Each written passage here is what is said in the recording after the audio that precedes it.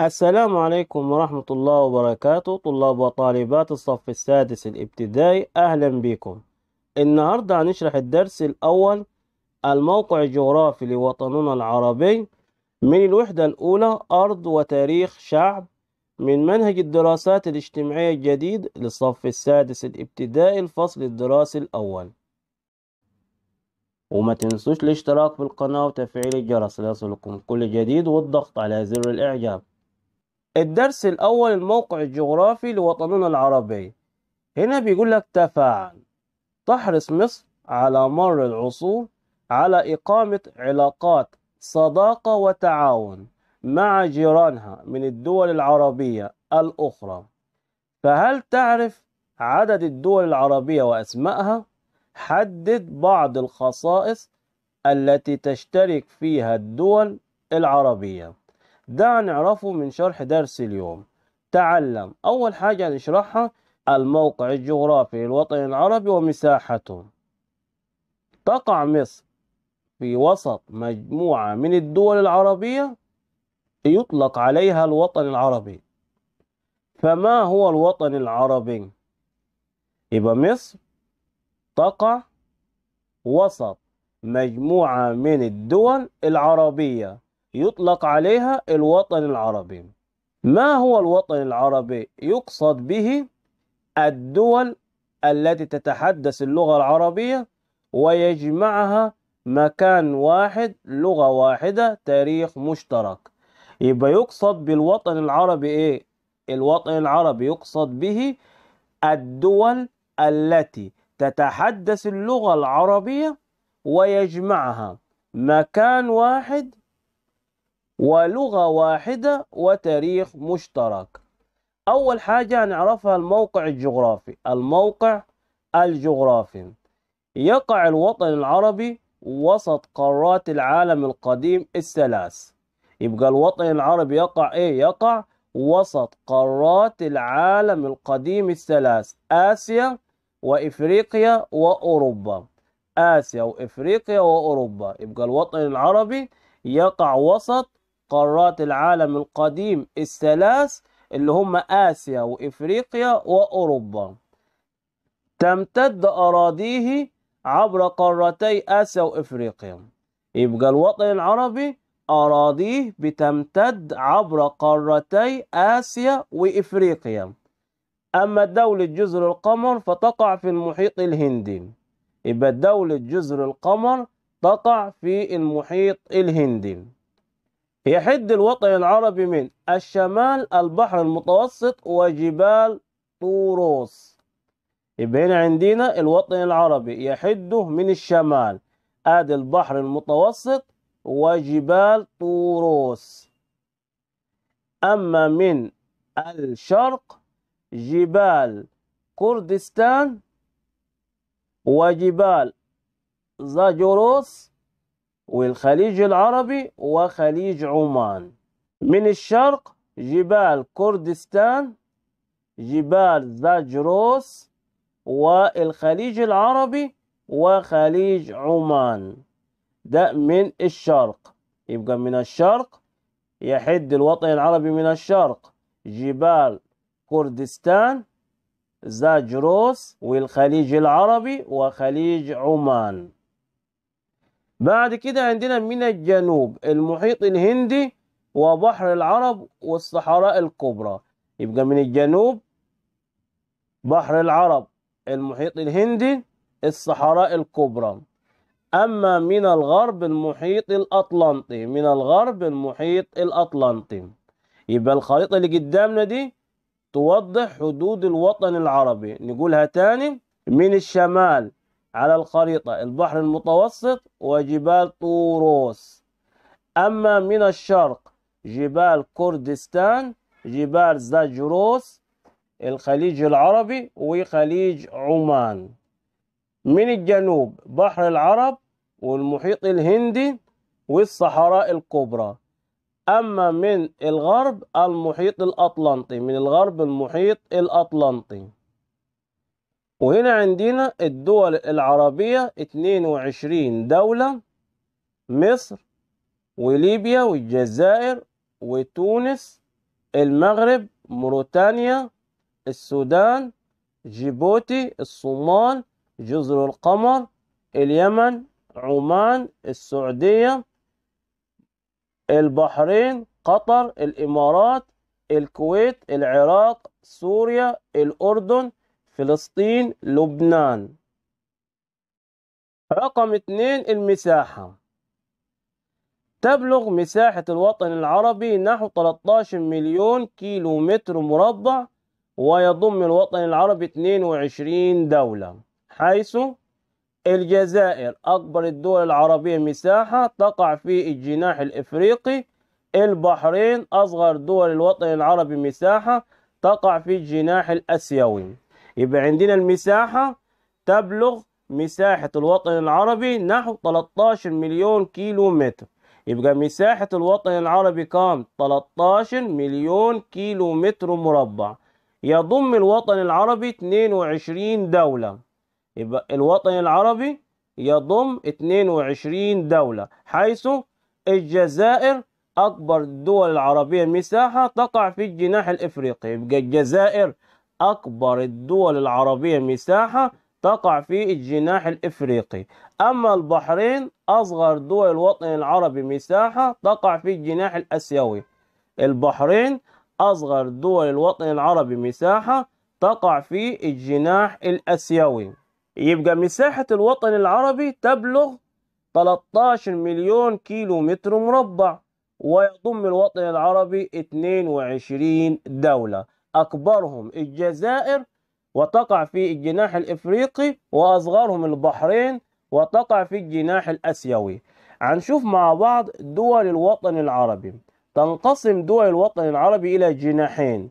هما الجناح الأسيوي وعدد دول 12 دولة ويمثل 28% من الوطن العربي. والجناح الإفريقي وعدد دوله 10 دول ويمثل 72% من الوطن العربي. يبقى تنقسم دول الوطن العربي إلى جناحين. هما الجناح الأسيوي وعدد دوله 12 دولة ويمثل 28% من الوطن العربي. والجناح الإفريقي وعدد دوله 10 دول ويمثل 72% من الوطن العربي. الخريطة اللي قدامنا بتوضح عدد دول الوطن العربي 22 دولة. أول حاجة معانا دول الجناح الأسيوي 12 دولة. سوريا لبنان الأردن فلسطين العراق الكويت البحرين قطر الإمارات السعودية عمان اليمن. يبقى دول الجناح الآسيوي يقع في قارة آسيا. لذلك سميت دول الجناح الآسيوي. وادي عندنا على الخريطة.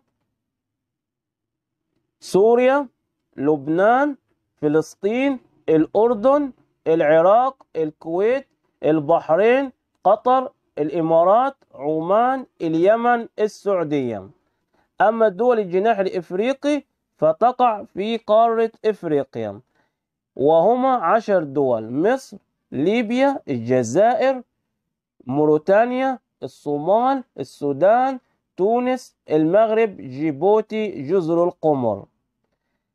وعلى الخريطة عندنا دول الجناح الإفريقي عشر دول مصر ليبيا تونس الجزائر المغرب موريتانيا جمهورية السودان جيبوتي الصومال ودولة جزر القمر. وإحنا قلنا ان دول الجناح الآسيوي عددهم 12 دولة يمثل 28% من الوطن العربي.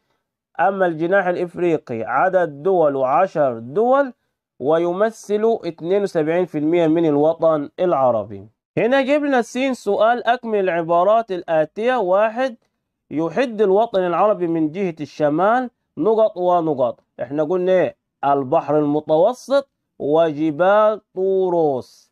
طب رقم اتنين تعتبر دولتا سوريا وفلسطين من دول الجناح نقط للوطن العربي من دول الجناح الأسيوي. هنكتب هنا الأسيوي. أهمية موقع الوطن العربي. يبقى نشرح أهمية موقع الوطن العربي. لموقع الوطن العربي أهمية كبيرة تظهر في النواحي التالية. أول حاجة الأهمية الاقتصادية.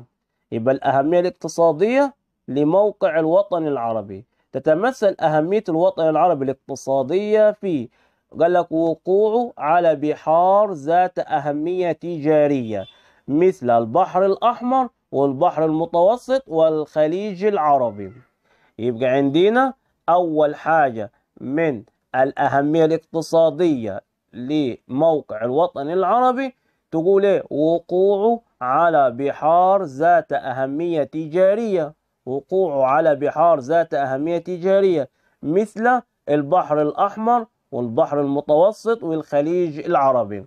الحاجة الثانية تحكمه في ممرات مائية مهمة. تحكمه في ممرات مائية مهمة وهي مضيق هرمز ومضيق باب المندب ومضيق جبل الطارق بالإضافة لقناة السويس.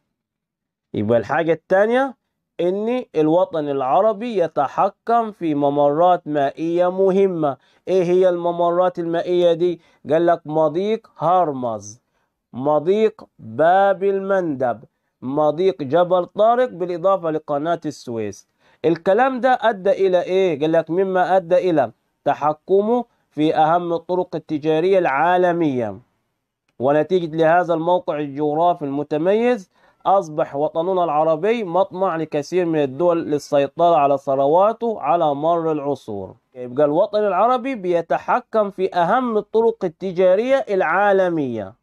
الوطن العربي بيتحكم في أهم الطرق التجارية العالمية ونتيجة لهذا الموقع الجغرافي المتميز أصبح وطننا العربي مطمع لكثير من الدول للسيطرة على ثرواته على مر العصور. الخريطة اللي قدامنا بتوضح معانا الممرات البحرية التي يسيطر عليها الوطن العربي. أول حاجة عندنا قناة السويس في مصر. يبقى دي قناة السويس في مصر. مضيق جبل طارق في المغرب وأسبانيا. مضيق جبل طارق بين المغرب وأسبانيا. في بعد كده عندنا مضيق هرمز. مضيق هرمز في خليج عمان. مضيق هرمز في خليج عمان ومضيق باب المندب في اليمن. مضيق باب المندب في اليمن. الأهمية الدينية. تتمثل أهمية الوطن العربي الدينية في الوطن العربي كان موطن الديانات السماوية اليهودية والمسيحية والإسلامية. يضم أماكن مقدسة ذات أهمية دينية كبيرة مثل الكعبة المشرفة في السعودية كنيسة القيامة في فلسطين والأزهر الشريف في مصر.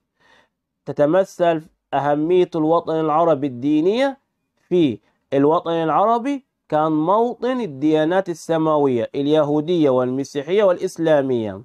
كان يضم أماكن مقدسة ذات أهمية دينية كبيرة مثل الكعبة المشرفة في السعودية وكنيسة القيامة في فلسطين والأزهر الشريف في مصر.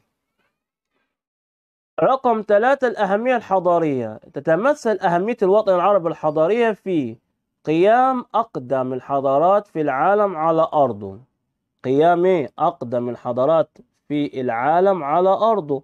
مثل الحضارة المصرية القديمة وحضارة بلاد العراق القديم. تتمثل في قيام أقدم الحضارات في العالم على أرضه. مثل الحضارة المصرية القديمة وحضارة بلاد العراق القديم. الأهمية الثقافية. تتمثل أهمية الوطن العربي الثقافية في أن لكل دولة عربية تاريخها السري منذ العصور القديمة وقد كان لتواصل الشعوب العربية تجاريا وثقافيا أثره في تشابه العادات والتقاليد بين شعوب الدول العربية تبني قيم اجتماعية مشتركة مما أدى إلى وجود تراث ثقافي مشترك بينهم.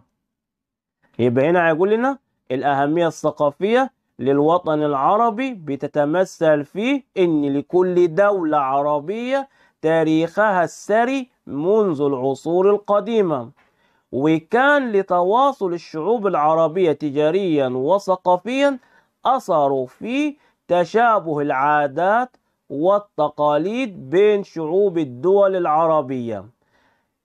وتبني قيم اجتماعية مشتركة مما أدى إلى وجود؟ تراث ثقافي مشترك بينهم. طب هنا أجيب لك سين سؤال. ألف أكمل العبارات الآتية بما يناسبها من كلمات. واحد يتحكم الوطن العربي في ممرات بحرية مهمة مثل مضيق نقط مضيق جبل طارق. ومضيق نقط مضيق باب المندب أو تكتب مضيق هرمز. في رقم اتنين يضم الوطن العربي أماكن مقدسة ذات أهمية دينية كبيرة مثل نقط في فلسطين. فتقول مثل إيه؟ مثل كنيسة القيامة في فلسطين.